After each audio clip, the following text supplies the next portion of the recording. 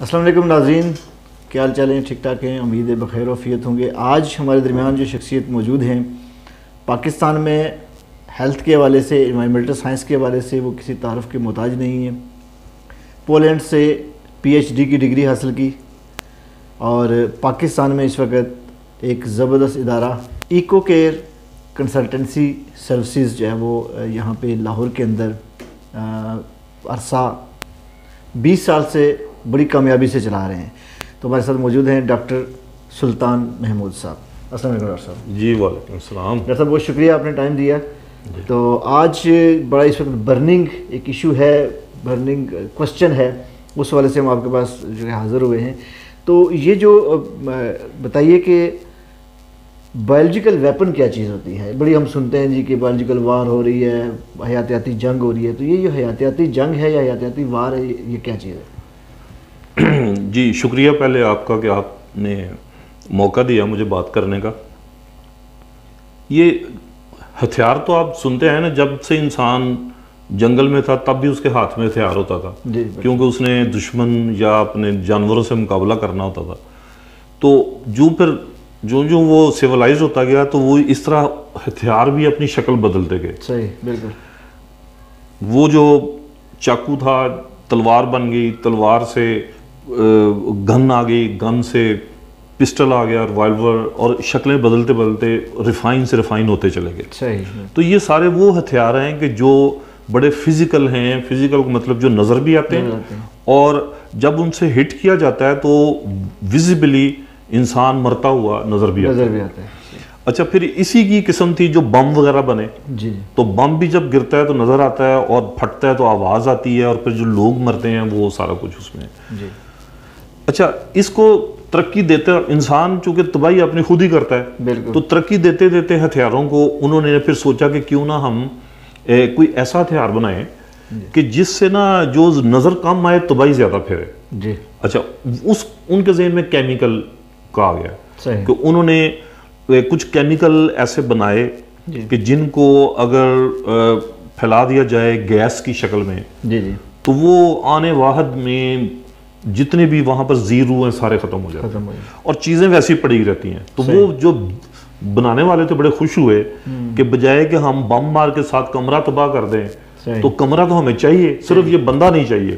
تو اس لیے انہوں نے وہ اس کو بڑا ویلکم کیا اور وہ کیمیکل ہتھیار کے طور پہ وہ سامنے آ گئے۔ اچھا اس کو پھر آگے ان کو خیال ہے کہ کچھ اور طریقہ بھی کریں کہ کیمیکل ہتھیار جو ہے وہ تو پھر لے کے جانا پڑتا ہے۔ بالکل ایسے اور جا کر کہیں اس کو پھوڑنا پڑتا ہے۔ ایسے ہی۔ کوئی ایسا نہیں ہے کہ جو خود بخود چلا جائے۔ صحیح۔ ٹھیک ہے۔ اس کے لیے بڑے طریقے تھے۔ ویسے تو سیٹلائٹ سے بھی کیمیکل کا فائر کیا جا سکتا ہے۔ صحیح۔ لیکن وہ بڑا مہنگا پڑتا ہے۔ تو اس لیے انہوں نے ایسا کیا کہ جراثیم جو تھے جی۔ جو کہ بیماریاں پیدا کرتے تھے ان جراثیم کو اپنی مرضی سے موڈیفائی کیا۔ صحیح۔ اور ان کو آزاد چھوڑ دیا انسان کو لگا کر۔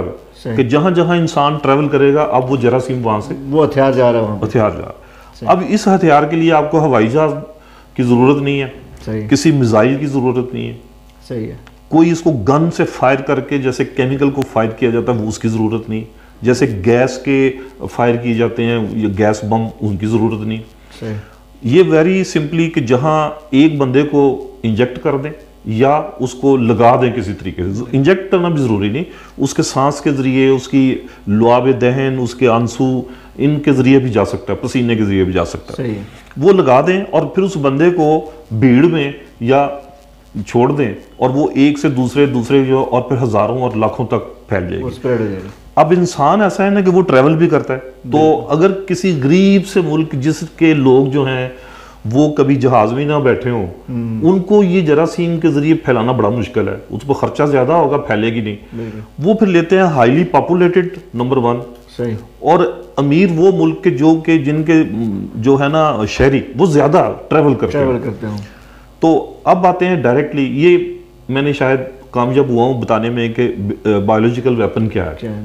اور یعنی ہتھیار کی ایک جراثیمی شکل۔ صحیح۔ ہے جو موجودہ ہم شاید جس ریفرنس سے بات کر رہے ہیں جی جی۔ وہ کرونا وائرس کے بارے میں بات کرنا چاہ رہے ہیں۔ تو وہ کرونا وائرس کو دیکھیں گے یہی جو میں نے بات آپ سے کی کہ جو ووہان شہر ہے ان کا اس کی ایک کروڑ کی آبادی ہے۔ صحیح۔ اس کے جس علاقے میں یہ سب سے پہلے انسیڈنٹ ہوا وہ بہت زیادہ پاپولیٹڈ ہے۔ صحیح۔ اور پھر چائنا وہ ملک ہے کہ جس کے لوگ پوری دنیا میں ٹریول کرتے میں پھیلے ہوئے ہیں ہر جگہ اور آتے جاتے رہتے ہیں آتے جاتے رہتے ہیں ہیں۔ بالکل۔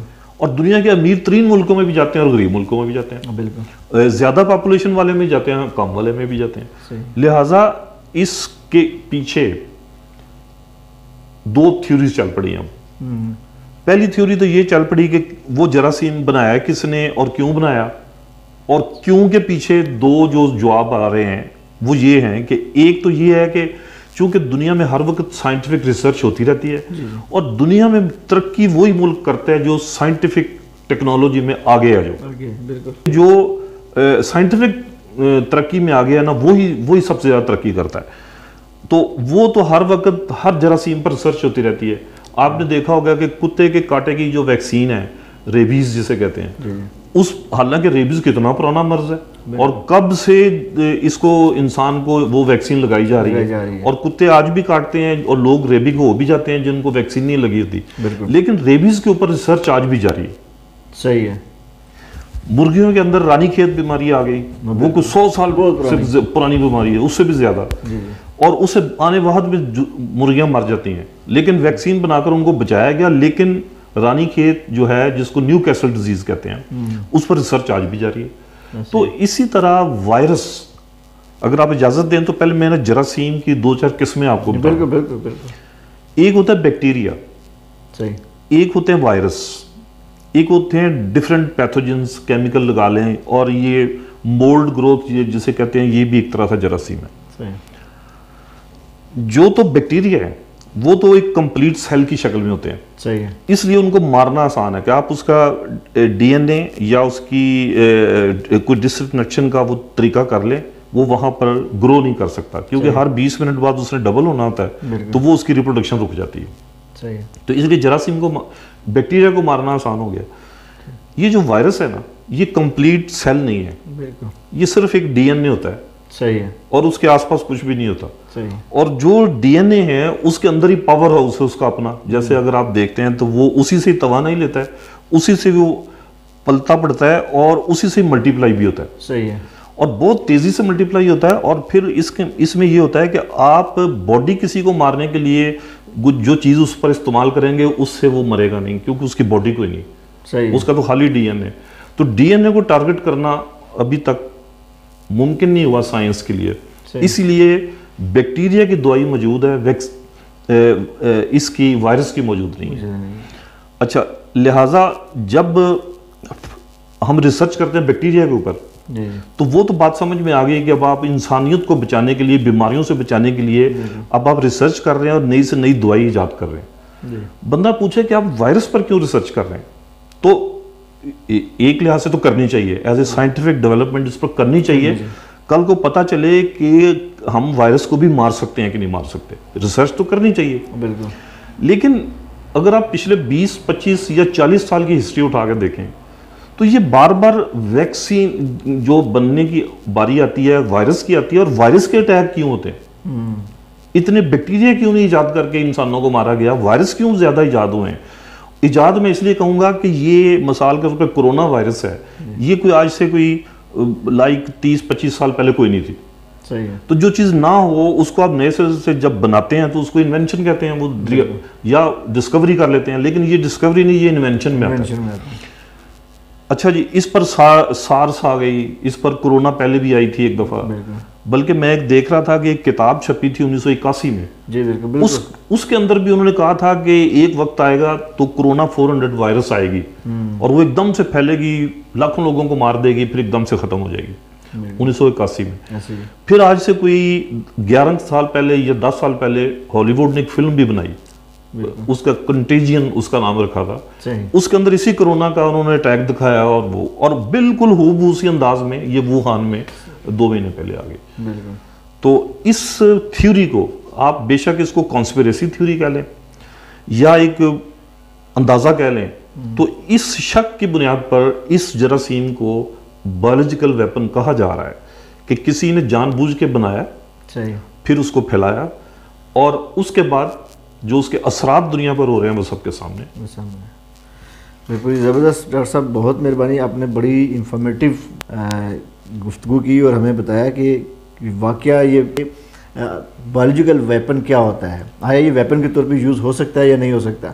تو ڈاکٹر صاحب نے بڑے تفصیل سے ہمیں بتایا اور بڑے زبردست طریقے سے بتایا کہ کرونا وائرس یہ ایک ویپن ہے، ایک بایولوجیکل ویپن ہے۔ ڈاکٹر صاحب، بہت شکریہ آپ کے ٹائم کا، آپ نے ہمیں ٹائم دیا۔